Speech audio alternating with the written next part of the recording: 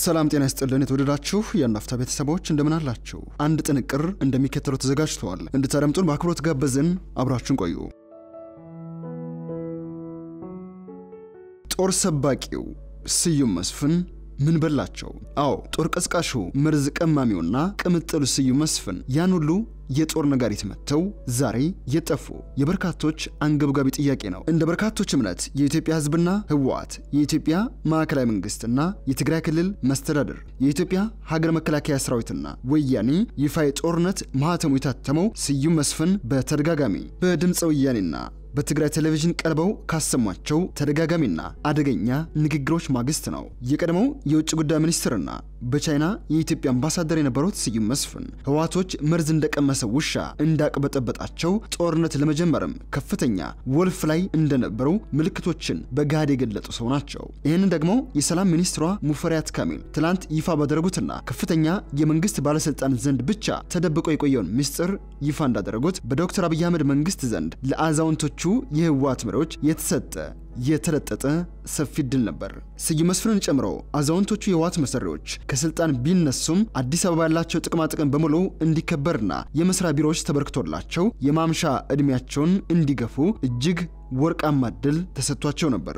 ለአብነት ያክል ስዩም መስፍን በአፍሪካ ውስጥ ባሉ ቀጠናዊ ተቋማት ኢትዮጵያን ወክለው እንዲያደራድሩና እንዲወያዩ ኃላፊነት ተሰጥቷቸው ነበር። በኢጋድ የደቡብ ሱዳን ተዋጊ ኃይሎችን እንዲያስማሙም አሸማጋይ ተደርገው ተሹሞ ነበር። ምንም እንኳን የሱዳን ተደራዳሪ ኃይሎች አምባሳደር ስዩም መስፍን ጆሮ አይሰማም፣ እጅግ በጣም ይበሳጭብናል፣ እንደዚሁም የሚናገረው እንግሊዝኛ ቋንቋ አይገባንም በሚል ተደጋጋሚ ሲሞታ ቢያቀርቡባቸውም ይህ አቶ ስዩም መስፍንን ጨምሮ ሽማግሌዎቹ የህወሓት ሰዎች በአብይ አህመድ መንግስትም ሆነ በኢትዮጵያ ህዝብ የተሰጣቸውን ውድ የሆነ እድል ገፍተው ነበር ወደ መቀለ የፈረጠጡት።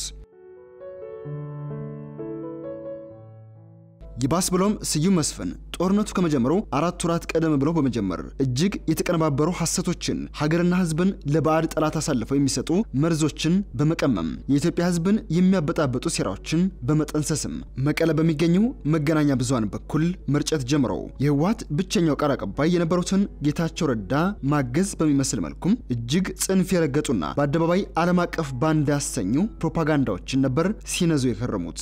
የአምባሳደር ስዩም መስፍን የፕሮፓጋንዳ ወሰን እስከ አድማስ ድረስ የዘለቀ ነበር። የአብይ አህመድን መንግስት ማጠልሸት፣ የኢትዮጵያ ሀገር መከላከያ ሰራዊትን የሚከፋፍሉ ሀሳቦችን በመሰንዘር የኢትዮጵያ ብሔር ብሔረሰቦች መካከል ሽብልቅ በመክተት እንደዚሁም ግዙፉን የኢትዮጵያ ፕሮጀክት ህዳሴ ግድቡን ተሽጧል እስከ ማለትና ግብፅን የመሰለች ታሪካዊ የኢትዮጵያ ጠላት በሀገራችን ውስጥ ሰተት ብላ እንድትገባ በሰሜን በኩል በሩን ወለል አድርጎ እስከ መክፈት የደረሰ ታሪካዊ ክህደት ነበር። በተለይ ግብፅና የዶናልድ ትራምፕ መንግስት የኢትዮጵያ ህዳሴ ግድብን ድርድር ጠምዝዘው ለ20 ዓመታት ቁጥር አንድ ዲፕሎማት አድርጋ የሾመቻቸው ሀገራቸው ኢትዮጵያን አጣብቅኝ ውስጥ ሲከቷት ኢትዮጵያውያንም ሁነኛ ባለሙያና አንድነት በሚፈልጉበት በዚያ ወቅት የዓመታት ልምዳቸውን ተጠቅመው መሞገት ሲጠበቅባቸው ይባስ ብሎ የኢትዮጵያ ጠቅላይ ሚኒስትር አብይ አህመድ ግድቡን አሳልፎ ሽጧል የሚል ተረት ተረት በመድረስ የእናት ጡት ነካሽነታቸውን በግልጽ በአደባባይ አስመስክረዋል። ፊት ለፊት ሲቀርቡ የህወሓት ይፋዊ ፕሮፓጋንዲስት ሆነው ተሰይመው የነበሩት ሰውየው በዚህ ብቻ አላበቁም ነበር። የኢሳያስ አፈወርቂ ሰላዮችና ልዩ ኮማንዶዎች ኢትዮጵያ ውስጥ በመሀል ሀገርም ሆነ በአማራ ክልል ገብተው በኢትዮጵያ ደህንነት መስሪያ ቤትና በመከላከያ ሰራዊት ውስጥ ሰርገው ገብተዋል በማለትም ተከታታይና ለመስማት የሚከብዱ ሐሰቶችን ሲነዙ እንደነበርም የቅርብ ጊዜ ትዝታ ነው። ህወሓት ለወራት እጅግ የታቀደለትን አሰቃቂ ጥቃትና ክህደት የመከላከያ ሰራዊት ሰሜን እዝ ላይ ከመፈጸሙ አንድ ሳምንት ቀደም ብለው ደግሞ በትግራይ ቴሌቪዥን በአማርኛ በትግርኛና በእንግሊዝኛ ቋንቋዎች ደጋግመው የሰጡት ቃለ ምልልስ ግን የመጨረሻዋን ክር የበጠሰች ነበረች። ያን ሰሞን የኤርትራው ፕሬዝደንት ኢሳያስ አፈወርቂ ወደ ኢትዮጵያ በመምጣት የሶስት ቀናት ይፋዊ የስራ ጉብኝት ያደረጉበት ወቅት ነበር። በተለይ ከጅማ እስከ ጉባ ከጉባ እስከ እንጦጦ ፓርክ በዘለቀው የፕሬዝደንት ኢሳያስ አፈወርቂ የሽርሽር የስራ ጉብኝት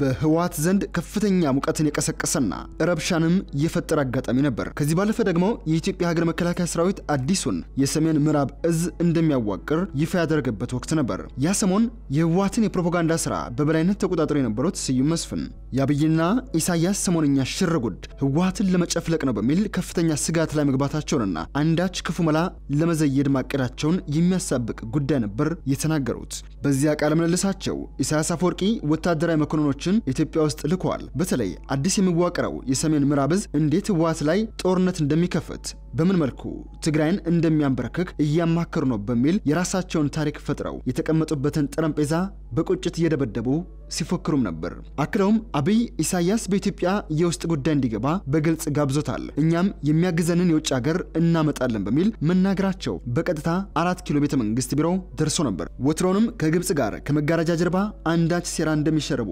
ተደጋጋሚ record የተያዘባቸው ህወሓቶች ስዩም መስፍን የውጭ ኃይል እናስገባለን ማለታቸው ህወሓት ጦርነት ከሰሜን እዝ ለመጀመር በሚገባ እንደተዘጋጀና ምላጭ መሳብ ብቻ እንደቀረው ማሳያ ነበር። እነዚህ ከላይ የጠቀስናቸውና በዚህ ጥንቅር ለመዳሰስ የሚያስቸግረው የፕሮፓጋንዳ ዘመቻዎች በስዩም መስፍን የተነዙ ናቸው። የኢትዮጵያ መንግስትና የህወሓትን ጦርነት ፊሽካ በመንፋት ራሳቸው ዳኛ፣ ራሳቸው የጨዋታው ተሰላፊ በመሆን ያስጀምሩት ስዩም መስፍን ነበሩ።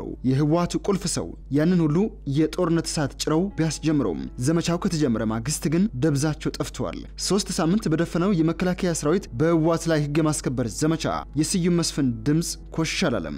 ያንን ሁሉ ፉከራ ሲያዘንቡ የነበሩት ሰው ዛሬ እምጥ ይግቡ እስምጥ የሚታወቅ ጉዳይ የለም። ይህ በሌሎች ተመሳሳይ ክስተቶች ያልተሰማና ያልታየ አጋጣሚ ነው። ጦርነቱን እፍ ብለው ያስጀመሩ ሰዎች ከጦርነቱ ማግስት ይጠፋል ብለው እያሰበ አንድም ሰው ይኖራል ብሎ መገመት አዳጋች ነው። ምናልባትም አንዳንዶች እንደሚሉትም ህወሓትን ላለፉት ሶስት ዓመታት ሲመሩ የነበሩትና ከጀርባ ሆነው የሚዘውሩት the big four የሚባሉት አቦይ ስብሃት፣ ስዩም መስፍን፣ አባይ ፀሐዬና ጌታቸው አሰፋ ናቸው።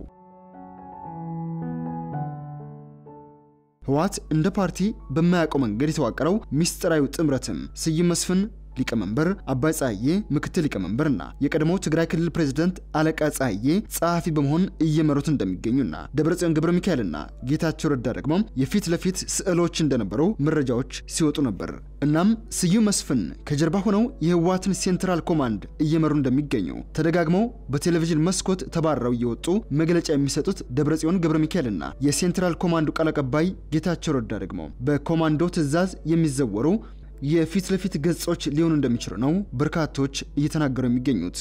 አንዳንዴ ከዚህ አለፍ ሲል ደግሞ ስዩም መስፍን በህወሓት የትጥቅ ትግል ዘመን ወደ ከተማ የሚገባውና የሚዘዋውረው እብድ መስሎ እንደሆነ ይነገራል። ባለፉት ቀናት ህወሓት በተለይ የኢትዮጵያ ገዳማት ሰላዮችን መነኩሴ አስመስሎ ሲልክ መገኘቱን ተከትሎም ስዩም መስፍን የቀደመ ልማዳቸውን አድሰው እብድ መስለው ከተማ በመግባት እየተዘዋወሩ ይሆን እንዴ በሚልም እየተቀደደ ይገኛል። ዋናው ነጥብ ግን ያን ሁሉ የጦር ነጋሪት ሲጎስሙ የጦር ፍላጻም ሲሰብቁ የነበሩት የቀድሞው የኢትዮጵያ ውጭ ጉዳይ ሚኒስትርና በቻይና የኢትዮጵያ ባለሙሉ ስልጣን አምባሳደር በቅርቡ ደግሞ የህወሓት ሌላኛው ወሳኝ ስብስብ ሊቀመንበር የነበሩት አቶ ስዩም መስፍን የት ገቡ፣ የትስ ጠፉ የሚለው ቁልፍ ጥያቄ ነው። እሳቸውን ያያችሁ የሰማችሁ ካላችሁ አስተያየታችሁን መስጠት ይቻላል። ውድ አንድ አፍታ ቤተሰቦች ውድ የአንድ አፍታ ቤተሰቦች ጥንቅራችን የሰማችሁትን ይመስላል። ስላደመጣችሁን አመሰግንን። ሰናይ ጊዜ በያላችሁበት